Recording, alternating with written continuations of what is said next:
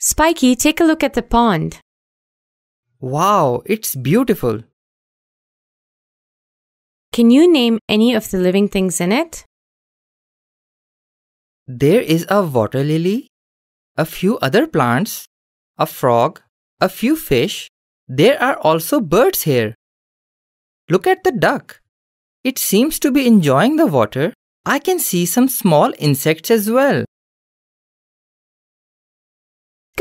How about the non living things?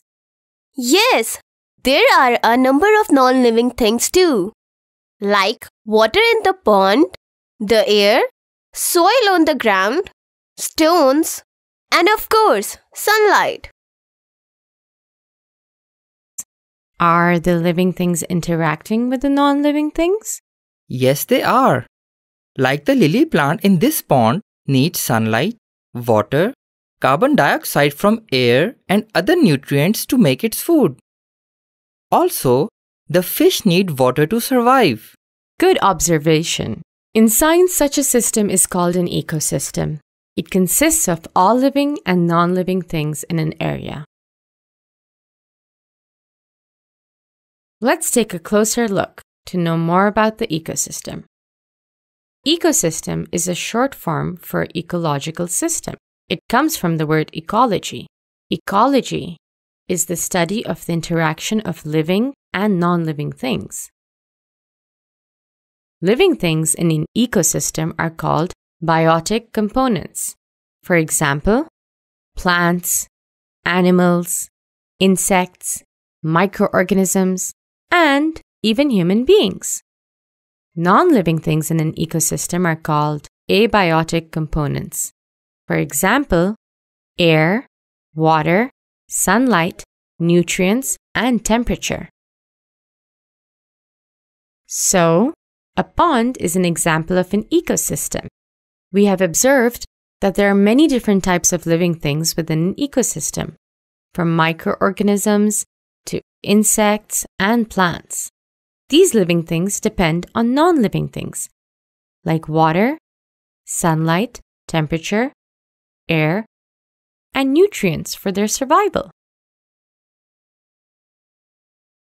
Can you give me another example of an ecosystem?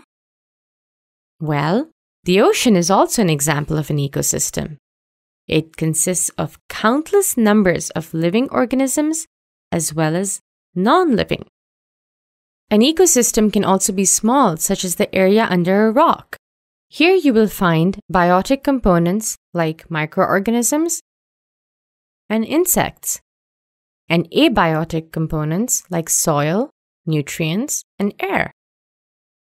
An ecosystem can also be as big as our Earth.